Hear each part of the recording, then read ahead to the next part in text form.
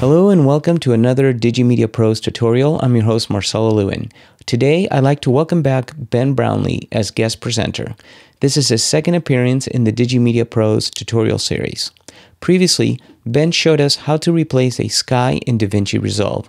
Today he's going to take that technique to the next level by showing us how to match move skies and lens flares in DaVinci Resolve. Ben, welcome back. Hi, Marcelo. Good to be back again. Well, before we get started, for those people that haven't seen your previous tutorial, which they should go check it out because it's really good, tell us a little bit about yourself. Well, I work in production and post production, doing a lot of commercial work. Um, and I've been doing this sort of stuff for a good long time now, working across various different bits of software. But for color grading, it's been Resolve all the way for the last sort of six or seven years now. And by your accent, I could tell you live in the valley here in uh, Southern California, right? Absolutely. No, I, I actually live in uh, in Denmark, but um, come from England originally. But I've been over here for I think 13 years. Give us a quick overview of the previous tutorial because this one really takes the next step. If we have a look at what's what's going on, this is our sort of original shot and it's just sort of yeah driving through. And this is the sort of thing that we're going to be aiming for in the end. So the original tutorial let's see and I, I, really recommend you go have a look at it.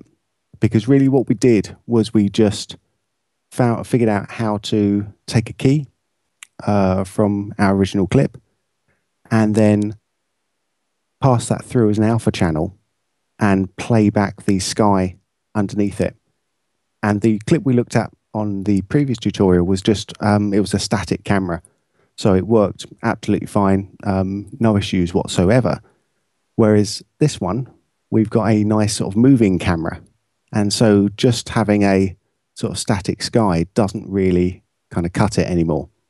So to get any sort of realism on there, we actually have to try and find a way to um, to track the sky in. We can do that all of that stuff directly within Resolve now. If we have a little look at the tracker over here, the tracker that we've got, um, most people who are just starting out to, to use Resolve um, are using the tracker to track in power windows. So they're sort of masking out like a little area over here, like this bush, and then coming through and then tracking the bush through over the uh, over the top there. But that's not really going to help us to um, to sort of track in uh, a completely different clip because this is just tracking in a power window. Uh, well, actually, we'll just cancel that. We don't really need to do that. But we've also got a stabilizer in Resolve as well. And let's just um, turn off the key that we've got just so we can see what we're originally working with here. So with our stabilizer, if I just sort of track that through, what Resolve is going to do is it's going to make loads and loads of point trackers and figure out the movement of the camera. And as soon as it, and you see actually on the graph down here, we've got quite a, uh, a bit of movement because the, the car, car's moving forward and the camera is following with it. So we've got quite a lot of movement going in here. And usually when we're stabilizing up a clip, if we just hit stabilize now and hit play back on that clip again, that will try to stabilize that shot out, but that's not quite working out as we want it to.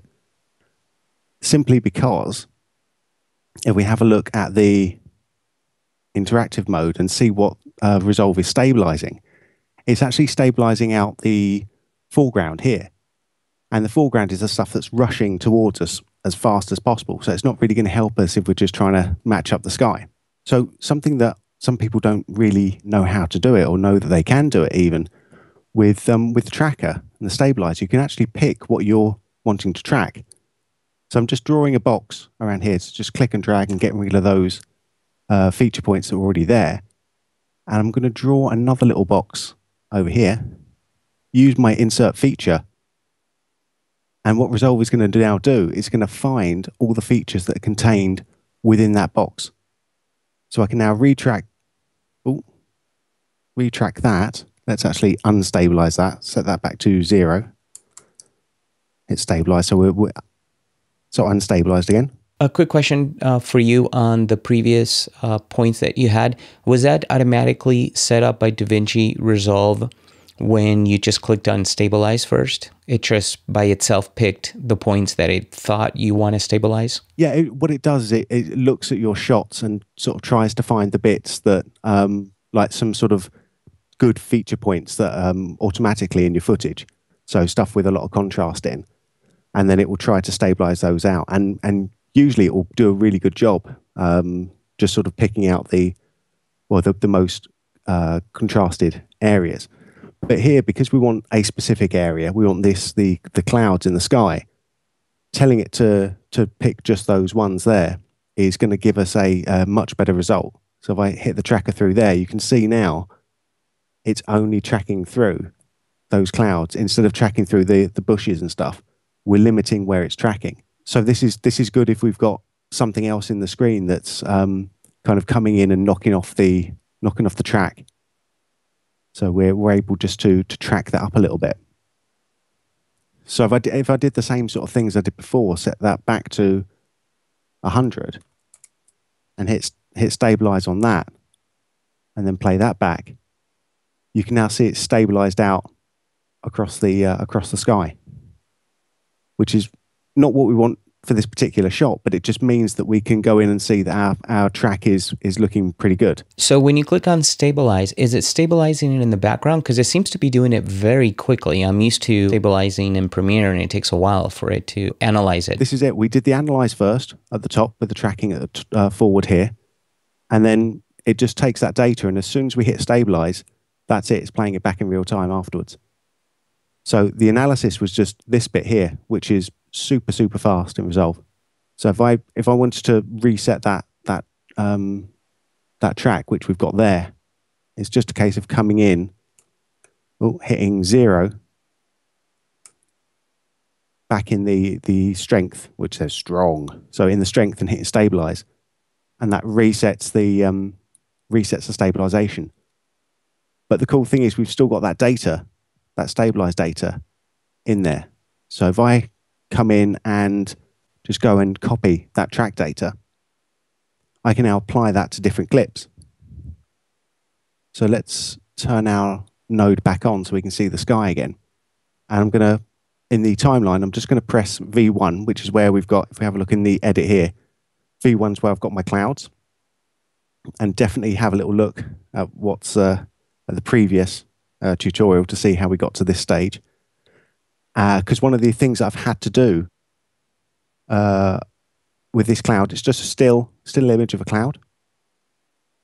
So we come back to the tracking here, come back to my clouds, and I try and paste my track data in here, again in the stabilizer. Nothing's happening. And the reasons nothing, nothing's happening there is because this is just a still image of a cloud. So what Resolve's done is it's retimed that. You can see if we have a little look, I'll just zoom in a little, bit on the on the timeline, and you can see the um, the little stopwatch there or the speedometer. It means that that's been retimed. So if we want to uh, apply tracking data on a retimed clip, we actually have to come in, right click on it, and go new compound clip. And what this is going to do, it's like nesting in um, Final Cut or Premiere.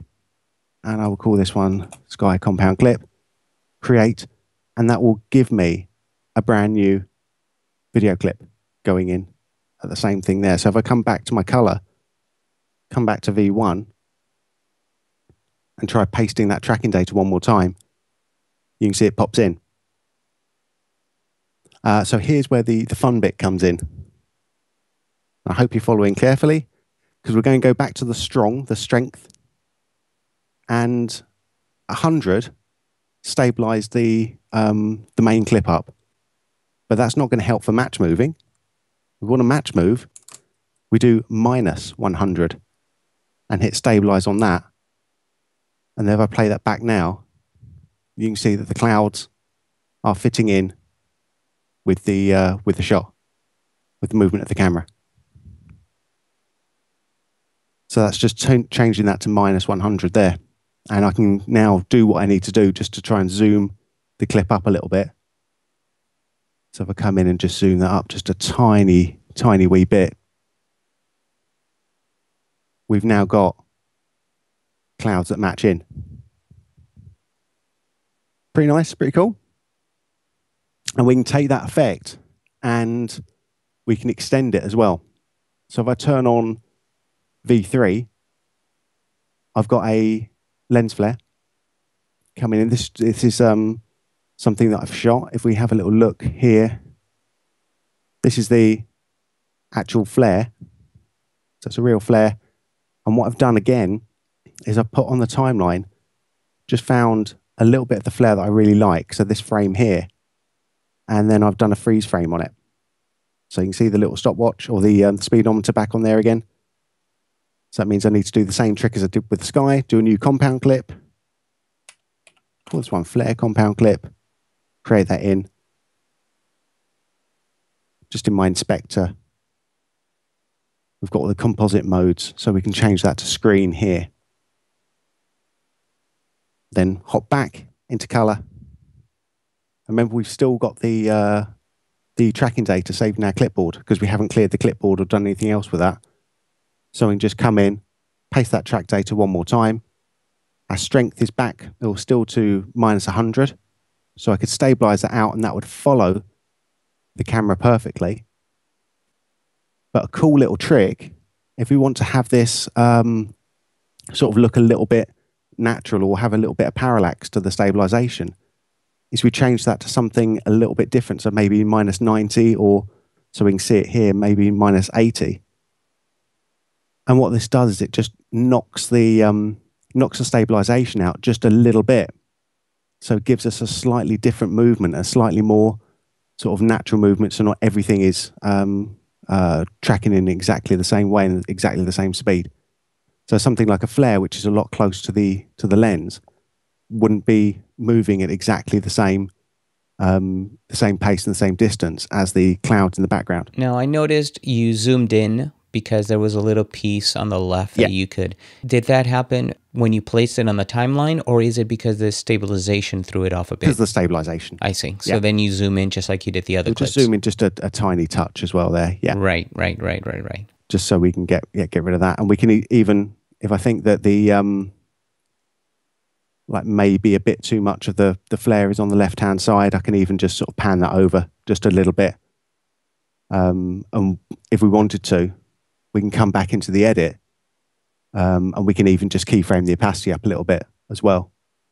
So we sort of take the opacity down, move forward a few frames, and to sort of just random randomize it just a little bit, so we get a bit more Just trying to make it more kind organic. of natural sort of thing there. So that's just yeah, very quick and easy to do. With something like a, a flare, it sort of makes a little bit of a actually makes quite a bit of a difference when you see it. And then we'll just give it a bit there. There we go. Cool. So if we play that back now, you see we just get a little bit of the of the flare sort of changing, which you, you probably would get if the sun is just peeking out behind the clouds, which we've got a lot of now.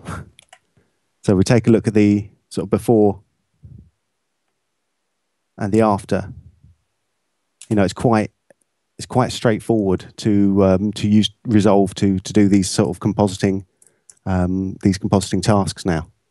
So just doing yeah sky replacements and adding a bit of flair and all that sort of fun stuff. You don't have to sort of take it out anywhere else. You can do it directly within um, within part of the grade. It's pretty crazy. You can do everything inside one one application now. It's really cool. Yeah, it really is. Well, Ben, thank you so much. Another great tutorial and another reason why everybody should never believe anything they see on TV or in the movies. Absolutely. Now, if people want to get a hold of you or learn more about you, yeah, you can always um, find me at curiousturtle.com and I've got uh, yeah a load of a load of fun stuff up there. and you never sleep, so you're always accessible. Absolutely. Well, thanks again, Ben, and to the rest of you, please remember to check out more of our tutorials, videos, podcasts, and articles at digimediapros.com. So until the next tutorial, I am your host, Marcelo Lewin. Cheers, everyone.